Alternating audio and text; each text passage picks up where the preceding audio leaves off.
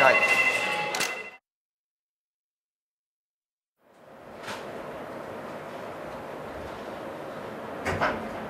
第3回目はですねまあ1回目が昭和っぽい感じで2回目がちょっと水着でちょっと平成っぽい感じになったんですけども今回は、まあ、私 AKB48 美術部部長を務めているということでそのちょっとね美術にちょっと引っ掛けた感じの役になっておりますのでぜひ皆さんお楽しみにしていてください。頑張ります。お願いします。お願いしまお願いします。す。AKB48 の山さんです。よろしくお願いいたします。ちょっとワンパイワ。こっちが私のでこっちがあなたのなし。終わりちょっと弱くしてはい。テストテストよーいスタート。美術部部長って言っても料理ぐらいはできないとね。よしできた。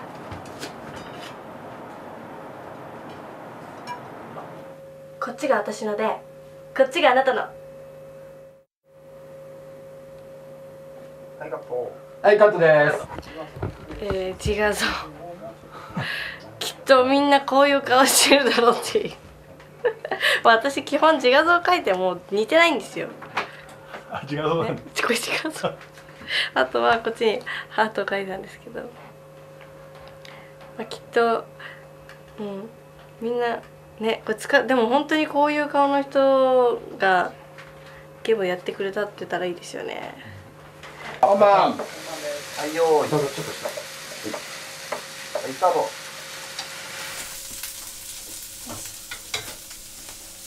美術部部長って言っても料理ぐらいはできないとね。よしできた。あとはこれ。これ今回ね特別に作ったんだ。じゃーん。こっちが私のでこっちがあなたの。はいカット。はい、カットです。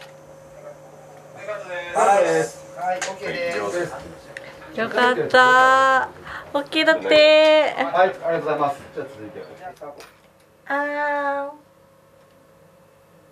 まあはいカットカットです。です10秒。はい OK です OK です。ありがとうございます。ありがとうございます以上でございます。ムービー終了です。あありがとうございました。はいありがとうございました。はい。はい、じゃあ何枚か全身でください。はい、オッケー。うん。はい、オッケー。はい。はい。はい、オッケー。はい、何枚か。はい。はい、もう何枚か。はい。はい。ちょっと。はい。はい。はい、なんか今回はすごい生活感ありふれた中だったので、まあ、ちょっとでもなんかリアルな感じ彼女っぽい感じになっていたらいいなと思いますえー、そうだな。誰かな。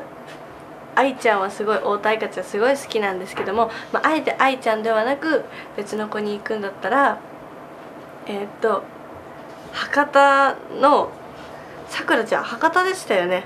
のさくらちゃん。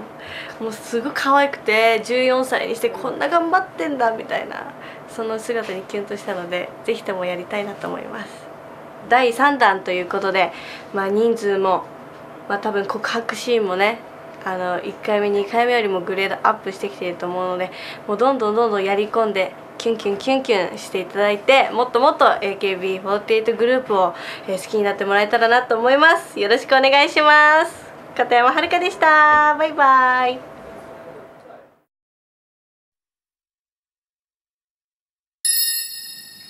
距離恋愛。え？どうなるんですかね？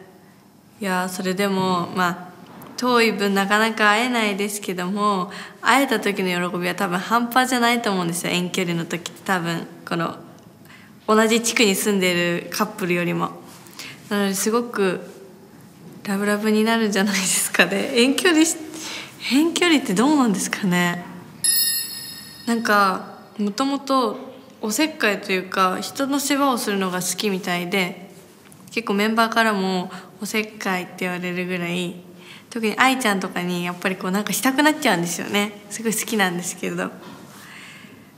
なんで多分好きな人にも多分好きな子にそうやってしてるので好きな人ができたら多分もっとこうなんかお世話をし合うんじゃないかなと思います。いやもう片思いのまんまで終わります。なんか申し訳ない親友にそんなもしこう奪うようなことをしたらやっぱり、うん、恋愛よりもやっぱ友達の方が絶対付き合いが長いじゃないですか。なので友達の方を大事にしたいのでそれは絶対にしないですね。じゃあ私がリベンジしてあげるって言って私が金魚すくいします。私も好きなんですよ金魚すくい。なんで彼だけやったらちょっとずるいなっていう思っちゃうので私がじゃあ金魚をすくうから見ててっていう言葉をかけて自分もどさくさに紛れてこうやっちゃいと思います。やっちゃうと思います。